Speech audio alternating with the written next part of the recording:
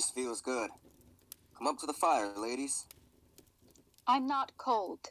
Now, Mr. Hale, before we move things about, you explain to Mr. Henderson just what you saw when you came here yesterday morning. By the way, has anything been moved? Are things just as you left them yesterday? It's just the same.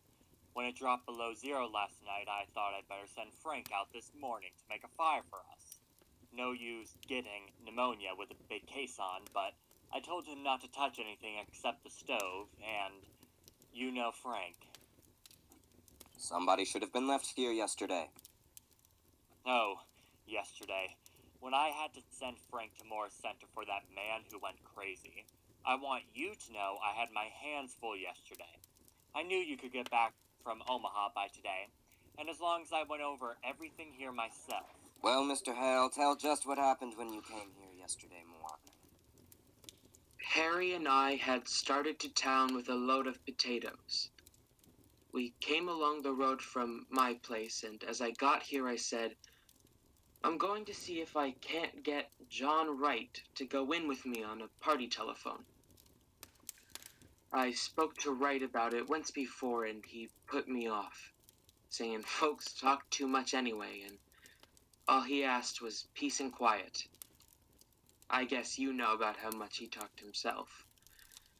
But I thought maybe if I went to the house and talked about it before his wife, though I said to Harry that I didn't know as what his wife wanted made much difference to John. Let's talk about that later, Mr. Hale. I do want to talk about that, but tell now just what happened when you got to the house. I didn't hear or see anything. I knocked at the door, and still it was all quiet inside. I knew they must be up. It was past eight o'clock, so I knocked again.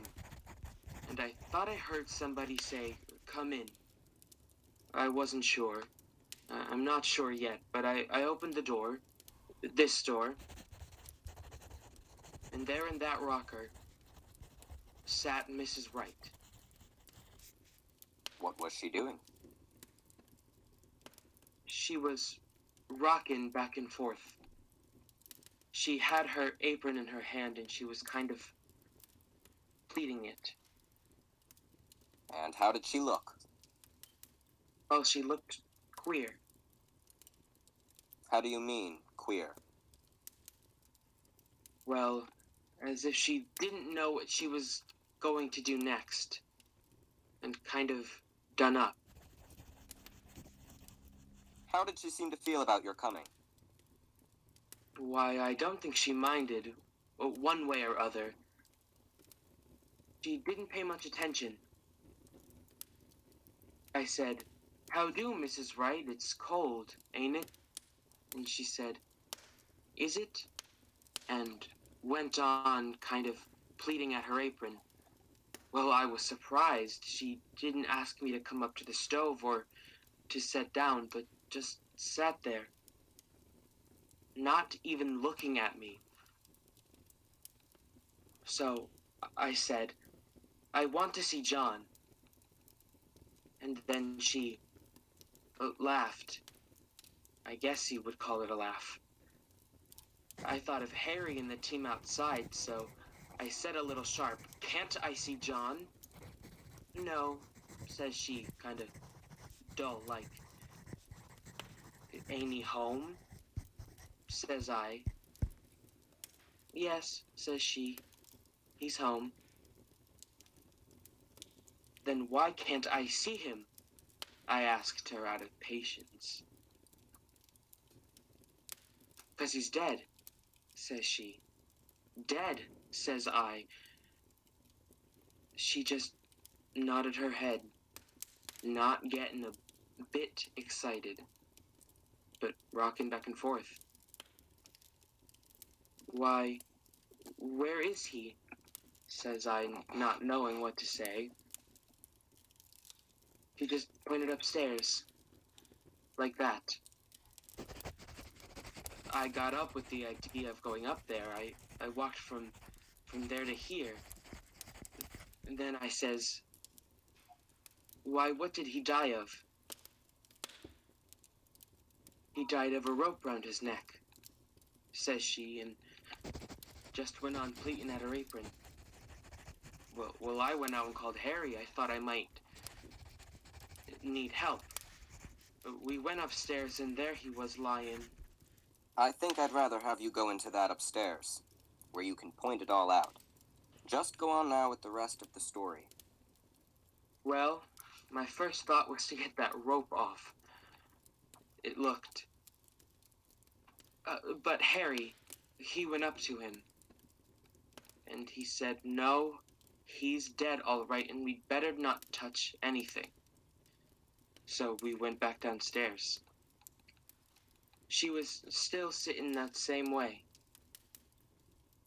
Has anybody been notified? I asked. No, says she, unconcerned. Who did this, Mrs. Wright? said Harry. He said it kind of businesslike, and she stopped pleating of her apron. I don't know, she says. You don't know, says Harry. No, says she. Weren't you sleeping in the bed with him? says Harry. Yes, says she, but I was on the inside. Somebody slipped a rope round his neck and strangled him, and you didn't wake up, says Harry. I didn't wake up, she said after him. We must have looked as if we didn't see how that could be, for after a minute she said, I sleep sound. Harry was going to ask her more questions, but I said maybe we ought to let her tell her story first to the coroner or the sheriff. So Harry went as fast as he could to River's place, where there's a telephone. And what did Mrs. Wright do when she knew that you had gone for the coroner? She moved from that chair to uh, this one over here and just sat there with her hands held together and looking down. I got a feeling that I ought to make some conversation, so I said I had come in to see if John wanted to put in a telephone. And at that, she started to laugh. And then she stopped and looked at me. Scared. I, don't know, maybe it wasn't scared. I, I wouldn't like to say it was. Soon Harry got back, and then Dr. Lloyd came in, and you, Mr. Peters. And so I guess that's all I know that you don't. I guess we'll go upstairs first, and then out to the barn and around there. You're convinced that there is nothing important here? Nothing that would point to any motive? Nothing here but kitchen things.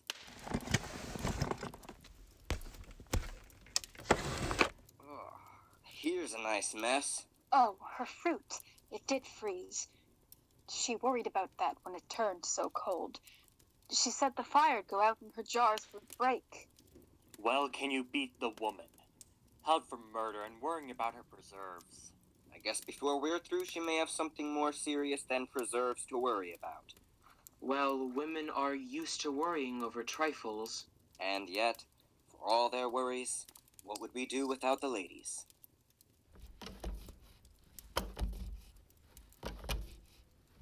Dirty towels.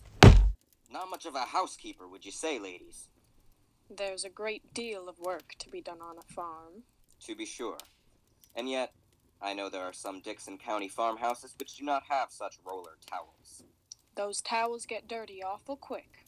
Men's hands aren't always clean as they might be. Ah, loyal to your sex, I see. But you and Mrs. Wright were neighbors. I suppose you were friends too. I've not seen much of her of late years. I've not been in this house. It's more than a year. And why was that? You didn't like her? I liked her all well enough. Farmers' wives have their hands full, Mr. Henderson.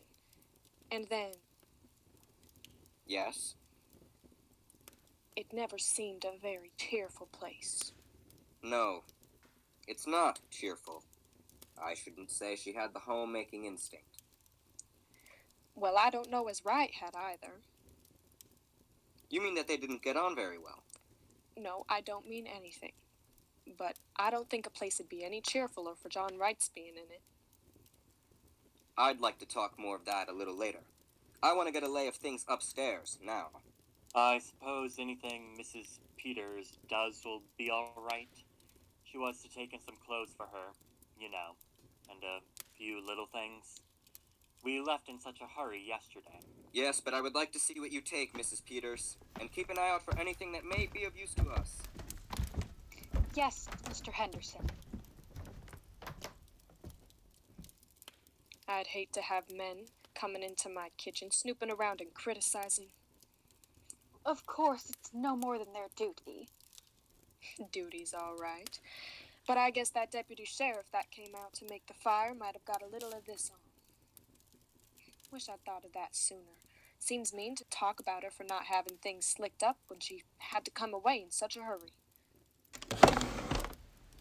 Oh, She had bread set. She was going to put this in there. It's a shame about her fruit. I wonder if it's all gone. I think there's some in here that's all right, Mrs. Peters. Yes. Here. This is cherries, too. I declare I believe that's the only one.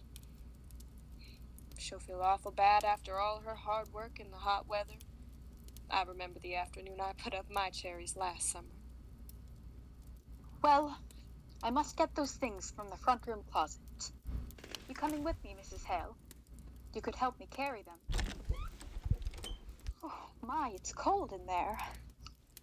Wright was close. I think maybe that's why she kept so much to herself.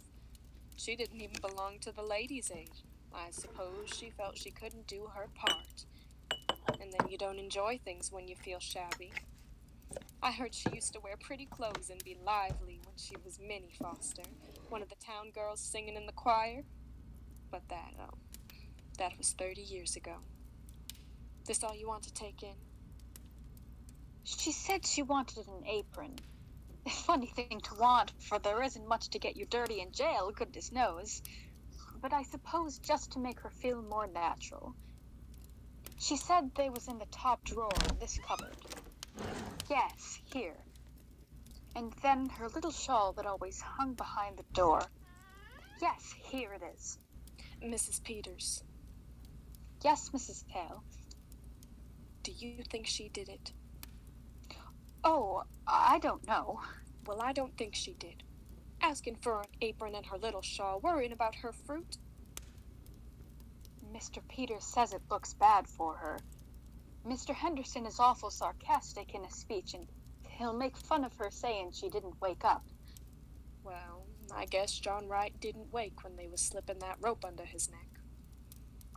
No, it's strange. It must have been done awful crafty and still. They say it was such a funny way to kill a man, rigging it all up like that. That's just what Mr. Hale said. There was a gun in the house. He says that's what he can't understand. Mr. Henderson said coming out that what was needed for the case was a motive, something to show anger or sudden feeling.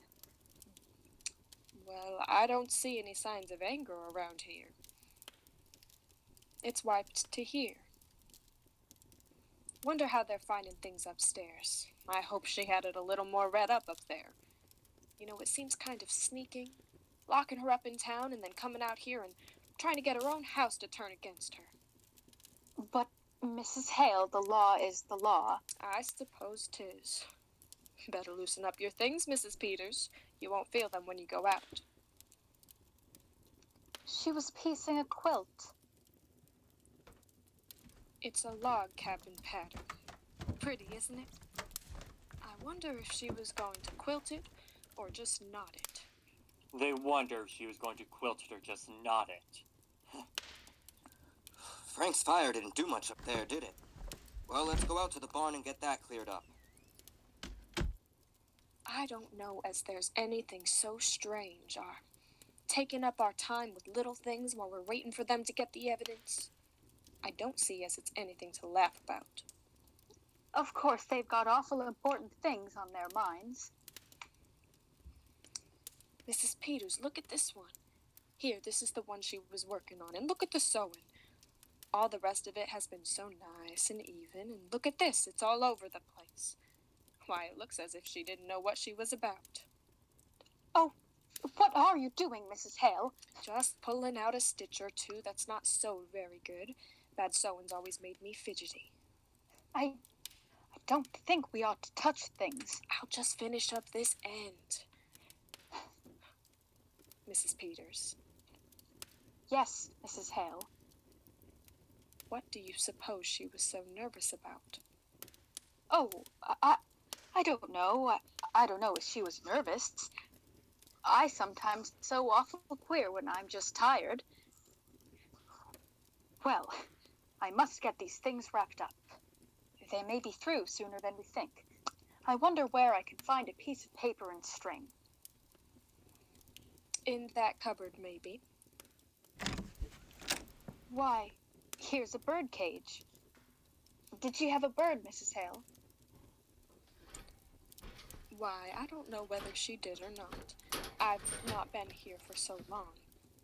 There was a man around last year selling canaries cheap, but I don't know if she took one. Maybe she did. She used to sing real pretty herself. Seems funny to think of a bird here. But she must have had one, or why would she have a cage? I wonder what happened to it. I suppose maybe the cat got it. No, she didn't have a cat. She's got that feeling some people have about cats, being afraid of them. My cat got in her room and she was real upset and asked me to take it out. My sister Bessie was like that. Queer, ain't it? Why, look at this door. It's broke. One hinge is pulled apart. Looks as if someone must have been rough with it. Why, yes. I wish if they're going to find any evidence, they'd be about it. I don't like this place. But I'm awful glad you came with me, Mrs. Hale. It would be lonesome for me sitting here alone. It would, wouldn't it? But I tell you what I do wish, Mrs. Peters. I wish I'd come over here sometimes when she was here. Um, wish I had. But of course you were awful busy, Mrs. Hale. Your house and your children. I could have come. I stayed away because it weren't cheerful, and that's why I ought to have come. I've never liked this place. Maybe it's 'cause it's down in a hollow and you don't see the road. I don't know what it is, but it's a lonesome place and always was. I wish I'd come over to see Minnie Foster sometimes. I can see now. Well, you mustn't reproach yourself, Mrs. Hale. Somehow we just don't see how it is with other folks until something turns up. Not having children makes less work, but it makes a quiet house. And Wright out to work all day and no company when he did come in. Did you know John Wright, Mrs. Peters? Not to know him. I, I've seen him in town. They say he was a good man. Yes, good. He didn't drink and kept his word as well as most, I guess, and paid his debts. But he was a hard man, Mrs. Peters. Just to pass the time of day with him like a raw wind that gets to the bone. I should think she would have wanted a bird. But what do you suppose went with it? I don't know unless it got sick and died. You weren't raised around here, were you? You didn't know her? Not till they brought her yesterday. She, come to think of it, she was kind of like a bird herself. Real sweet and pretty, but kind of timid and fluttery.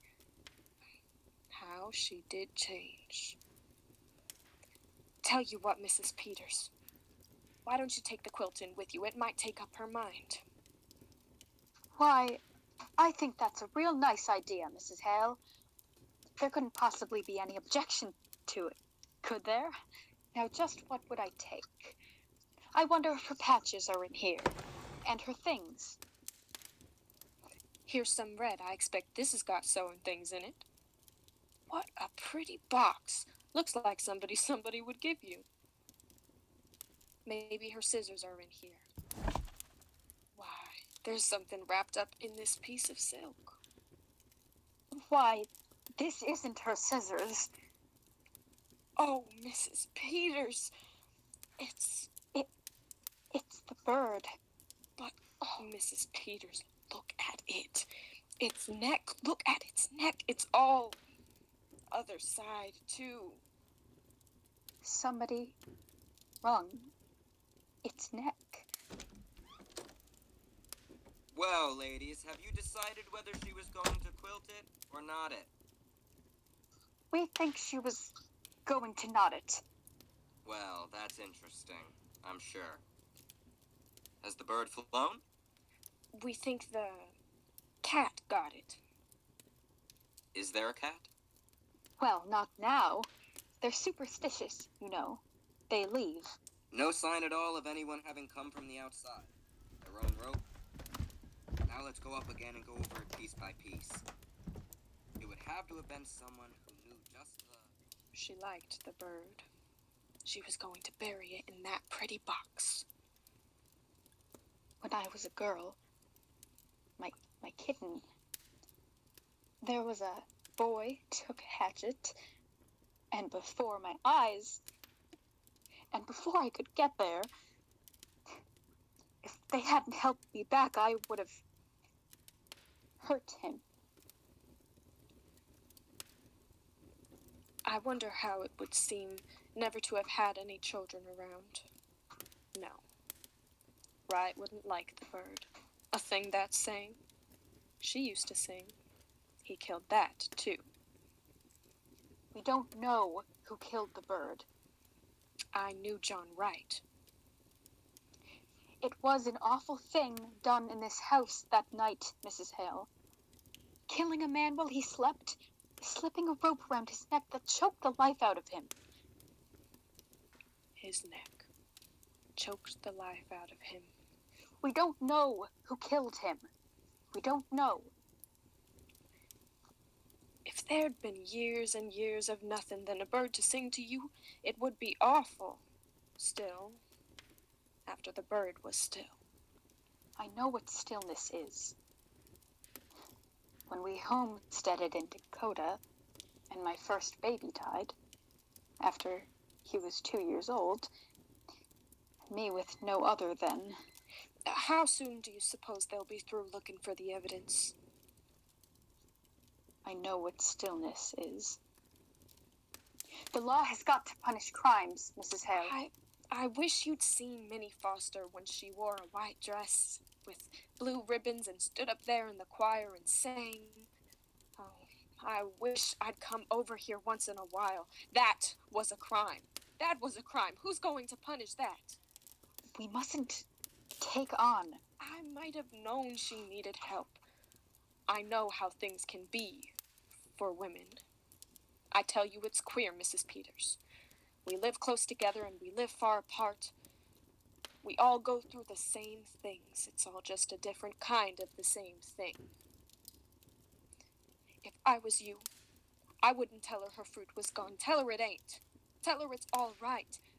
Take this in to prove it to her. She. She may never know whether it was broke or not. My, it's a good thing the men couldn't hear us. Wouldn't they just laugh?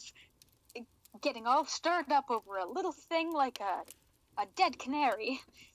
As if that could have anything to do with. with. Wouldn't they laugh? Maybe they would. Maybe they wouldn't. No, Peters. It's all perfectly clear except the reason for doing it. Do you know juries when it comes to women? If there was some definite thing, something to show, some thing to make a story about, a thing that would connect up with this strange way of doing it.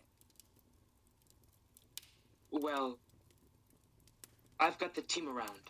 Pretty cold out there. I'm going to stay a while by myself. You can send Frank out for me, can't you? I want to go over everything. I'm not satisfied that we can't do better. Do you want to see what Mrs. Peters is going to take in? Oh, I guess they're not very dangerous things the ladies have picked out. No, Mrs. Peters doesn't need supervising. For that matter, a sheriff's wife is married to the law. Ever think of it that way, Mrs. Peters? Not just that way. Married to the law. Hmm. I just want you to come in here a minute, George. We ought to take a look at these windows. Oh, windows. We'll be right out, Mr. Hale. Well, Henry, at least we found out that she was not going to quilt it. She was going to. What is it you called it, ladies? We call it knot it, Mr. Henderson.